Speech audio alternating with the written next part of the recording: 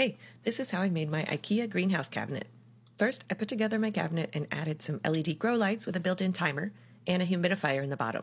The whole point is to keep my rainforest plants happy, which like things warmer and more humid than the normal conditions in my apartment. I mist my air plants and anthuriums once a day and keep an eye on the temperature and moisture levels with a little meter.